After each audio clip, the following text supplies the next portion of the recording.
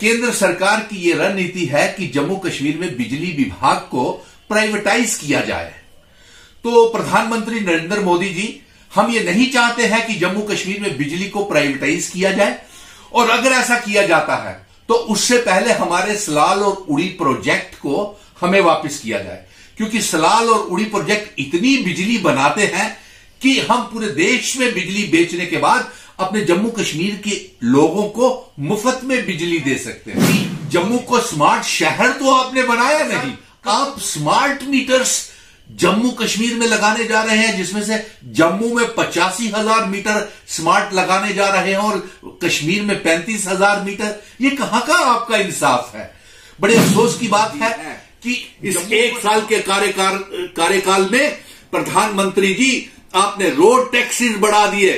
आपने toll plaza बढ़ा दिए।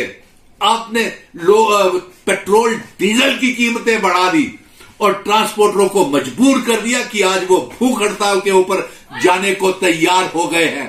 और हम ये मांग कर रहे थे आपसे कि इस महामारी के दौर का कम से कम आप उनका छह छह महीने का जो बैंक की किस्तों के ऊपर इंटरेस्ट है, वही माफ़ कर देते। लेकिन आपने ऐसा नहीं किया और आज मजबूर हो गए तमाम ट्रांसपोर्टर भाई हमारे कि वो भूख हड़ताल और धरनों के ऊपर चले गए। एक नोटिफिकेशन निकली है जिसमें लगभग 2000 के करीब जे एंड के बैंक की नौकरियों की एप्लीकेशंस मांगी गई हैं।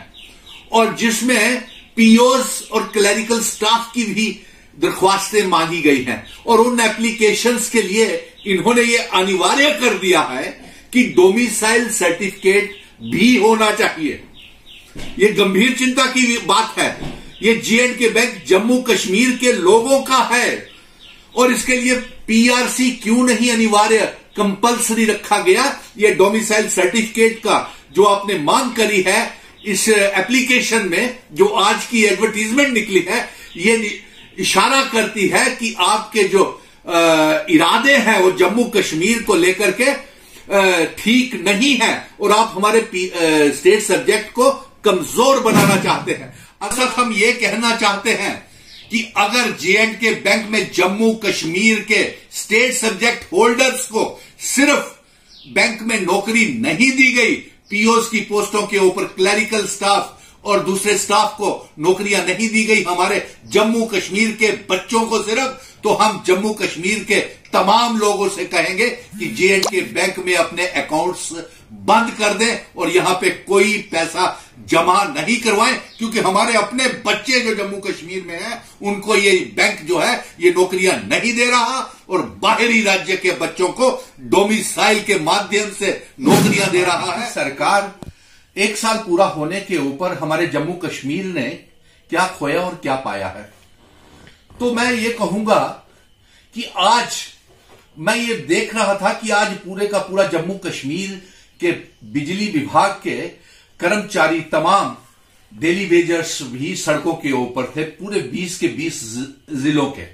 क्योंकि केंद्र सरकार की यह रणनीति है कि जम्मू कश्मीर में बिजली विभाग को प्राइवेटाइज किया जाए। तो प्रधानमंत्री नरेंद्र मोदी जी, हम ये नहीं चाहते हैं कि जम्मू कश्मीर में बिजली को प्राइवेटाइज किया जाए। और अगर ऐसा किया जाता है तो उससे पहले हमारे सलाल और उड़ी प्रोजेक्ट को हमें वापस किया जाए।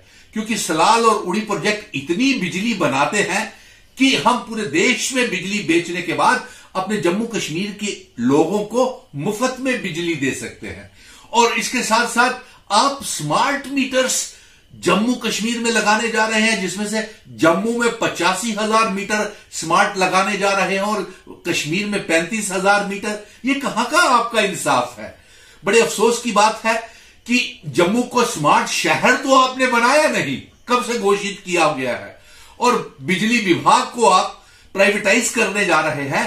आज मैं देख रहा था कि तमाम एडब्ल्यूज AEs JEs clerical staff accountants तमाम चालीस हज़ार के करीब डेली वेजर्स सड़कों के ऊपर थे। आपने उनके बारे में, भविष्य के बारे में क्या सोचा? आपके पास हमारे जम्मू कश्मीर के राज्य का दर्जा छीनने के बाद और हमें यूनियन टेरिटरी बनाने के बाद आपने हमसे सब कुछ छीन लिया है और हमारे रियासत का तहस नहस कर दिया है। हमारे बेरोजगार नौजवानों का कोई मुस्तकबिल है नहीं। आपने जे एंड के बैंक के मुलाजिमों को निकाल दिया।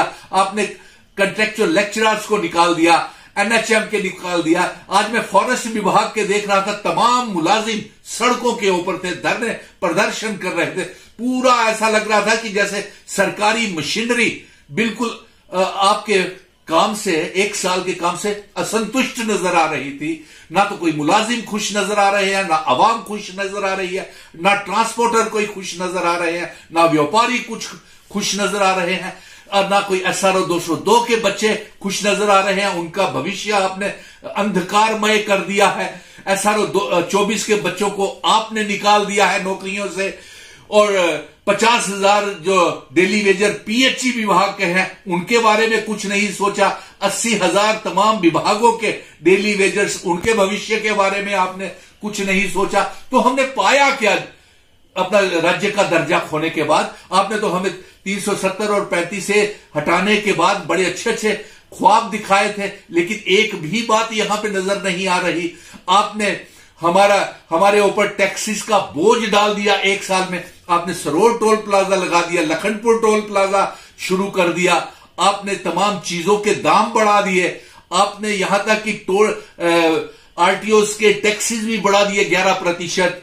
और उसके साथ साथ आपने रोड टैक्स बढ़ा दिए। लॉकडाउन में हमारा जम्मू कश्मीर आर्थिक संकट में गुजर रहा है। आपने जो 20 लाख करोड़ रुपए का आर्थिक पैकेज दिया, उसमें से तो जम्मू कश्मीर को एक, दो, तीन और अब पांचवा लॉकडाउन चल रहा है। इसमें कुछ मिल नहीं रहा। आप कम से कम बिजली विभाग के किराए ही जम्मू कश्मीर के व्यापारियों के होटलियर्स के, इंडस्ट्रीज़ के, factories, dhabas, cinema hall, malls वालों के मुआफ कर देते छह छह महीने के। ऐसा आपने नहीं किया। आपने इसके साथ साथ ट्रांसपोर्टर्स की किस्तें के ऊपर इंटरेस्ट ही माफ़ कर देते, जो बेचारे जिनकी गाड़ियाँ पिछले तीन महीने से खुड़ी रुकी हुई, पड़ी हुई है, खड़ी हुई है। ना बसेस वालों को, ना ट्रक ट्रक वालों को, ना मेटाडोर वालों को, ना ड्राइवर्स को, ना कंडक्टर्स को आपने कुछ दिया। आखिर हमारे जम्मू कश्मीर में आप 4G नेट को शुरू नहीं कर पाए। 4G नेट का किराया लेते हैं, लेकिन 2G हमको सर्विसेज़ दे रहे हैं। हमारे बॉर्डर्स आगे ही अशांत पड़े हुए हैं। आतंकवाद में कोई कमी नहीं आई। आखिर आपने हमारे लिए किया क्या? हाँ, आपने जो हमारे लिए किया, वो आप हमारे स्टेट सब्जेक्ट को कमज़ोर बनाने का प्रयास कर रहे हैं। आप उसको एक बेकार का डॉक्यूमेंट बना रहे हैं कि आप डोमिसाइल सर्टिफिकेट आप जम्मू कश्मीर के लोगों के ऊपर इस एक साल में लादने का प्रयास कर रहे हैं। यही एक हमारे पास आखिरी निशानी बची हुई थी हमारी डोगरी गोजरी पहाड़ियों की बकरवालों की, Chenab valley, Pir Panjal valley, Kashmir valley की सदियों पुरानी ये हमारी एक स्टेट सब्जेक्ट है जो ये निशानदेही करता है कि हम पुश्तानी जम्मू कश्मीर के लोग हैं और यहाँ के रहने वाले। और डोमिसाइल के माध्यम से आप हमारे बेरोजगार नौजवानों की नौकरियाँ भी छीनना चाहते हैं। प्रोफेशनल कॉलेजेस में उनकी एंट्रेंसेस के एग्जामों के ऊपर भी आप डाका डालना चाहते हैं, ये हम कतई बर्दाश्त नहीं करेंगे। ये कौन से जयचंद हैं जो डोमिसाइल सर्टिफिकेट का स्वागत कर रहे हैं जम्मू में, जबकि तमाम डोगरा और एक करोड़ तीस लाख जनता प्रधानमंत्री नरेंद्र मोदी जी गृह मंत्री अमित शाह जी आपके डोमिसाइल सर्टिफिकेट का विरोध कर रही है। और कुछ जम्मू के डोगरा जयचंद है जो आपकी को गलत गाइड कर रहे हैं और आपकी छवि को जम्मू में खराब कर रहे हैं। अगर ये डोमिसाइल सर्टिफिकेट यहाँ लगाते हैं तो मैं चाहूँगा कि 20 और 40 साल के बीच में जितने भी नौजवान हैं, एकजुट हो जाएँ। और अपने अधिकार की लड़ाई के रक्षा के लिए लड़ें। और साथ में हम ये भी कह देना चाहते हैं कि अगर डोमिसाइल सर्टिफिकेट हमें लाना जाता है, क्योंकि ये कहते हैं कि यूनियन टेरिटरी के बनने के बाद डोमिसाइल सर्टिफिकेट लाना पड़ेगा।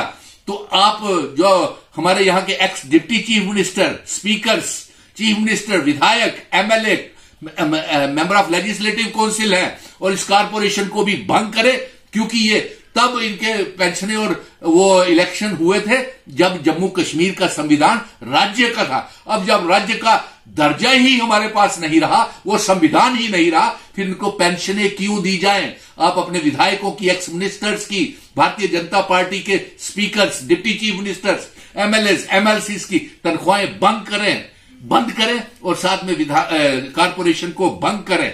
और इसके साथ साथ हम ये कहेंगे कि हमें आप दोहरी नीति एक यूनियन टेरिटरी में नहीं चल सकती है कि एक तरफ़ तो आप विधायकों को मुफ़्त में पेंशन दे सत्ता का सुख भोगे और हमारी एक करोड़ तीस लाख बेरोजगार नौजवानों को और लोगों को, को लंबी लंबी कतारों में फिर से खड़ा कर दे। आज हम ये कह देना चाहते हैं स्पष्ट शब्दों में कि एक साल केंद्र में भारतीय जनता पार्टी की सरकार के बनने के बाद सिर्फ़ हमने अपना विशेष अधिकार और राज्य का दर्जा और अपनी तोहीन करवाई है कि हमारे राज्य को, खूबसूरत राज्य को एक मामूली सी यूनियन टेरिटरी बना करके रख दिया है। हमें एक साल में कुछ भी हासिल नहीं